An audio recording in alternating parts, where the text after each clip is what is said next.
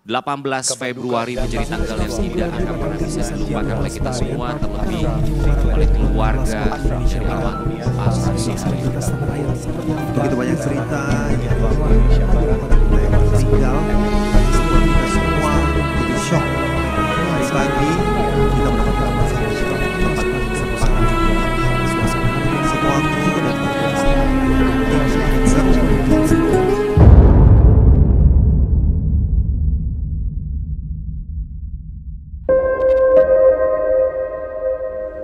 kehangatannya di antara keluarga serta teman-temannya membuat saya merasa bahwa sosoknya ini masih ada di antara kita.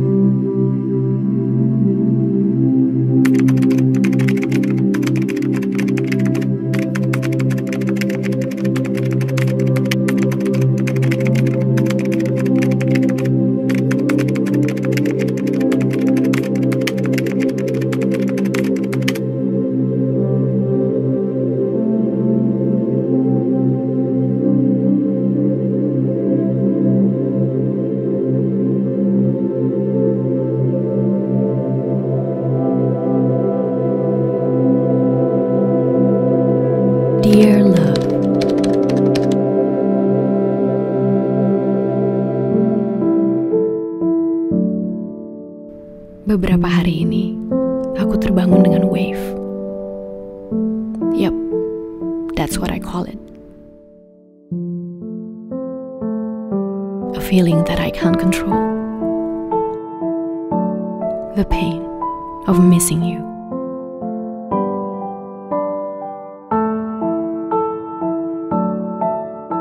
Di saat aku berpikir aku sudah mulai bisa melangkah. This wave keeps on coming back once in a while. And it's different every time. Waktu itu memang itu adalah jadwalnya adalah jadwalnya untuk teman saya Sazi untuk melakukan wawancara. Tapi gara-gara dia uh, ada keluarganya yang sakit, pagi-pagi itu dia udah nelpon Ashraf tolong bantuin, tolong cover, tolong you know, datang.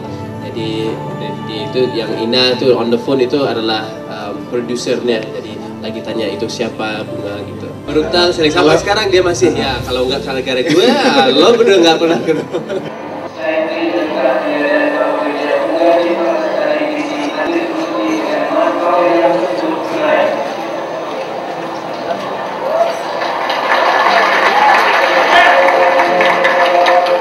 lagi nggak apa-apa nggak ada masalah nggak masalah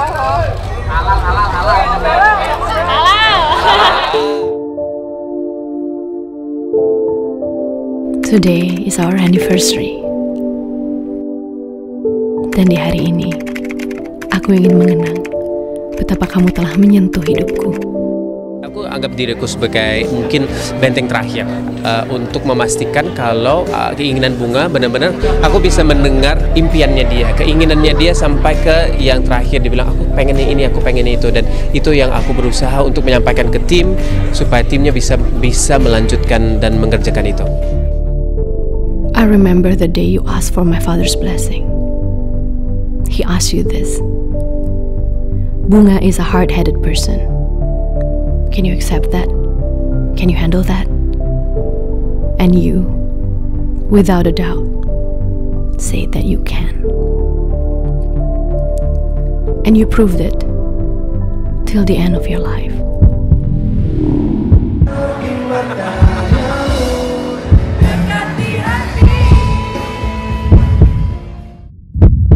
There was never a moment that I don't feel loved. Even when we had our biggest fight, I know that you love me, and I love you. kita sama-sama berjuang kok seperti layaknya pasangan suami istri yang lain kita juga pasti punya masalah kita juga punya momen happy tapi yang pasti di aku dari dari awal sama Asraf prinsip kita adalah kita selalu intinya kita harus saling jujur satu sama lain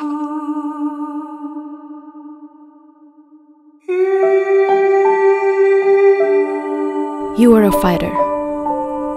Kamu tidak pernah menyerah. Walau dalam hidup ada banyak sekali rintangan. For you, it's all about growth. It's about being a better man. Connect. What does it mean? To connect means is to go back to that one person. Go back to your glass, to you. Connect with yourself. Grow yourself. Learn to meditate because that's the best way you listen to yourself. You listen, you realize what the problems are. Get off your phones for a while and live life because this is where it's happening. Yeah? In a world of connectivity, we are least connected with ourselves.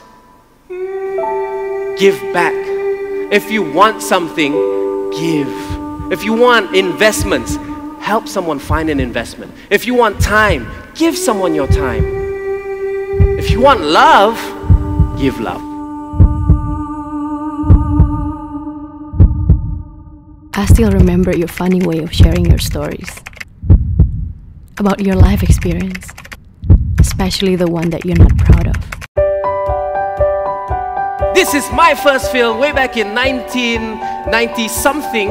Ini sengaja diburemin so that you guys can't take a photo and search on it online because this film is called SH3 but I like to call it SHI karena filmnya jelek sekali. Filmnya jelek sekali. Dan aku rasa pada zaman itu oke okay lah.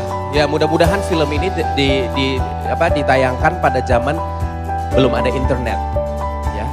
Jadi Gak mungkin ada siapa-siapa yang taruh di YouTube. Tapi ternyata ada loh. Ada orang, entah siapa ini, yang masukin film ini ke YouTube. Untung cuman 5.300 orang yang tonton. Dan dari 5.300 orang yang nonton, ya cuma dua yang bilang jelek. Not bad ya, aku bolehlah terima itu. The first day on the job, there in front of the camera, I memorized my lines. Everybody else were experts, and they said, okay, Ashraf, action. And I did my lines, blah, blah, blah, blah, blah. Okay, cut. All right, good job. I was like, whoo, I did it now. As I was walking away, they say, wait, you still have to do your close-up. So what is a, what's a close-up? And I had no idea what a close-up was. Between a master shot, a two-shot, and a close-up, you mean I have to do the same thing all over again? I can't remember what I did. And one of my favorite is your Lele story. Investasi pertama aku di Indonesia sudah mendapat duit ya. Dapat duit, dapat duit dari syuting sinetron, aku investasi di ikan lele. Kenapa? Karena pada saat itu aku lihat di mana-mana pinggir jalan semuanya jual ikan lele. Pada satu hari terjadilah sesuatu yang sering terjadi di Indonesia tapi aku juga tidak nyadar pada saat itu adalah banjir.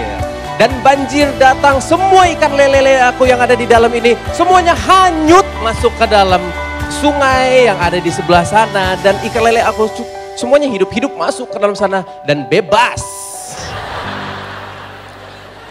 Ikan lele aku bebas. Jadi sebenarnya aku tidak membuat peternakan ikan lele untuk dijual. Aku cuma membuat investasi ikan lele untuk menambahkan populasi ikan lele di sungai yang terdekat di sana.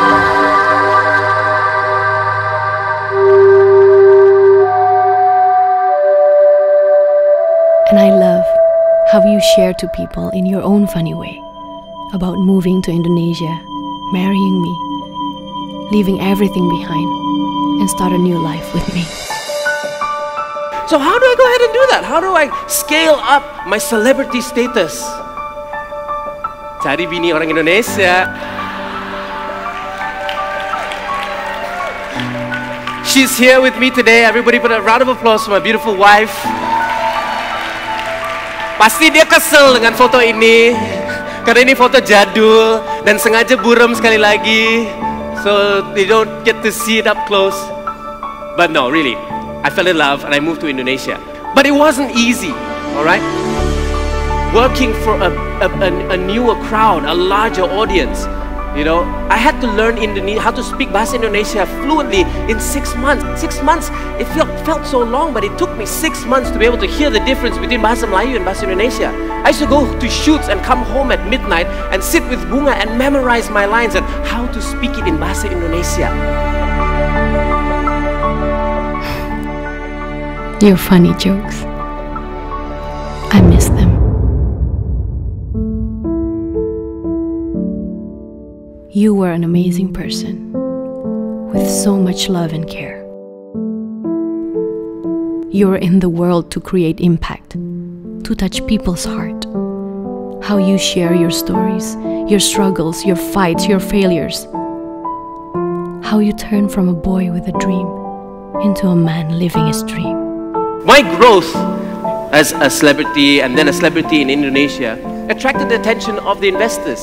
And how did how did I get this opportunity? Because by chance I bumped into the owner of TGI Fridays and he remembered me. Do you know why he remembered me? Because when I was doing working in TGI Fridays as a waiter, every time the boss used to come in, nobody wanted to take his table. Nobody because he would criticize everything you do, make sure you're on the ball. He would comment on everything. But I said, you know what? Ya udahlah, let me do it. I raised my hand and I volunteered. And I made mistakes, but he remembered me. When I continued on my path to become a celebrity, he gave me the opportunity. He came to me and said, Hey, would you like to invest and help me open up TGI Fridays in Indonesia? I said, Why not? I used to work the floor carrying food. I know all the drinks, I know all the foods. It makes sense to me. What is the value you are bringing every moment? Setiap saat kita bergerak kan, berarti setiap saat kita ada efek dan dampak kepada orang di samping sebelah kita. Semua yang terjadi dalam hidupku, ya, dari acting, dari fail, dari sana, aku cuma pengen melakukan yang terbaik.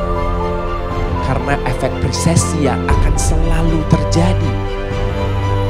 Jadi jangan pernah melewatkan kesempatan untuk berbuat baik. Every moment, di setiap saat Anda punya kesempatan untuk menambahkan nilai, adding value, berbuat baik ya secara simple. Dan di situ Anda akan menemukan tujuan sebenar, tujuan hidup Anda sebenar.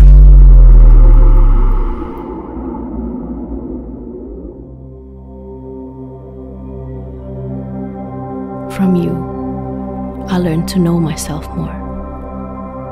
From you, I learned to grow, to trust, to be the best of me. You made me feel secure. You made me feel love.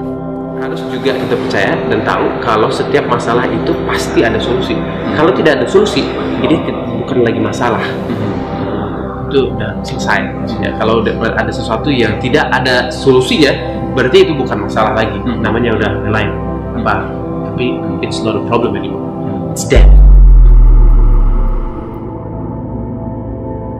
selama kita masih punya rasa ingin berjuang satu sama lain kita akan berjuang terus sih Uh, kita selalu bertahan bersama tuh karena kita masih cinta aja satu sama lain masih mau berjuang masalah ada tapi kalau kita masih punya rasa cinta yang besar komunikasinya tuh terus ada masalah-masalah sih ya udah 11 tahun kan ya udah begini-begini ya asam garam udah udah kita nggak bohong lah siapa di sini udah menikah selama 11 tahun pasti tahu rasanya gimana bukan hal yang mudah tapi selama kita masih punya semangat untuk sama-sama terus ya kita sama-sama terus. So far sih sampai sekarang aku tidak pernah bisa membayangkan hidupku tanpa Asra.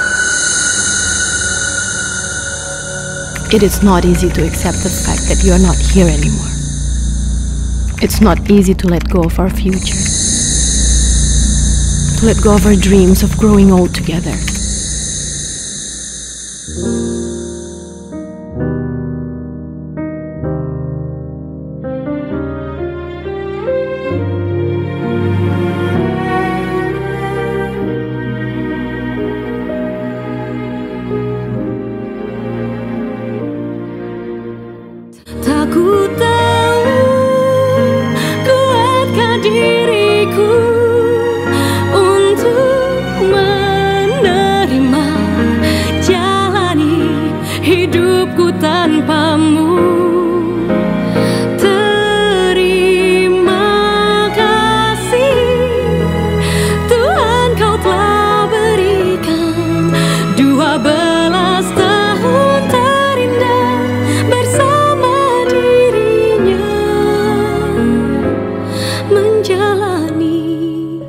But I am so blessed that I had the chance to spend the 12 years of my life with you by my side.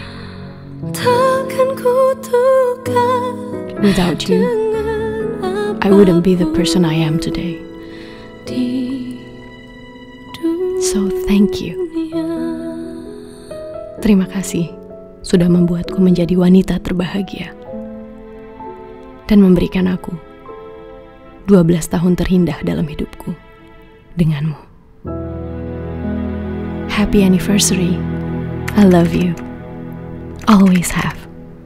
Always will.